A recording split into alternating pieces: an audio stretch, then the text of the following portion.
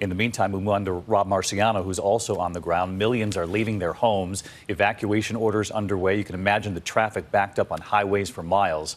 Uh, senior meteorologist Rob Marciano with those families, and Rob is in St. Petersburg tonight.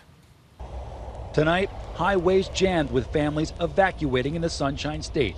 Millions of Floridians in the crosshairs of major Hurricane Ian.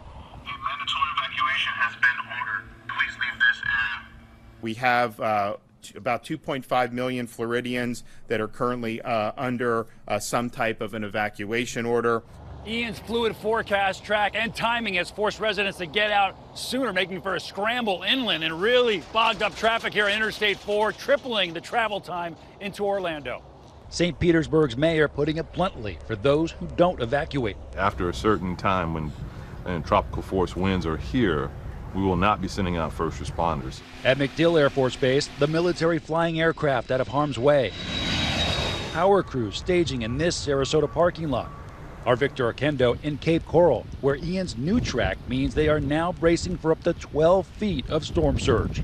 Cape Coral is a unique town built on a 400 mile system of canals like this one. Storm surge and flooding is a major concern, so they'll be relying heavily on these. They're called weirs, and they can be lowered or raised to help control the flow of water.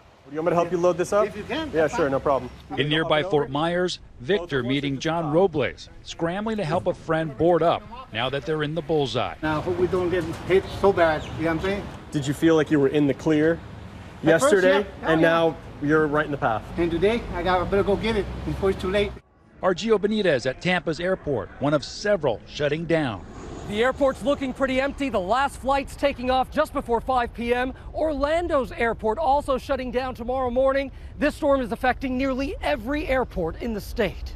The main message I have for everyone in Florida is that this is going to impact everyone in different ways. Outer bands from Ian now reaching from the Keys to Orlando. This possible tornado west of Miami. After barreling across Cuba like a buzzsaw, nothing in Ian's path now except warm water in Florida. Yeah, this is really something already seeing those funnel clouds. Rob with us live from Sarasota tonight. Rob, you mentioned the extremely warm water fueling this hurricane, the intensification that continues. Uh, what kind of temperatures are we looking at? And really, there's nothing left to sort of shear off any of the strength of this storm, is there? No, not really, David. This pool of warm water has only expanded in the past week. Take a look at this map. It's right in the path of Hurricane Ian. 85 to 90 degree water temperatures. That's about two degrees above average. So climate change certainly playing a role in supercharging these storms. We do have a, a bit of shear that will nudge it to the east, but I don't think it's enough really to knock it down. So this is going to come ashore as a major hurricane. It's going to have major life-threatening, destructive impacts.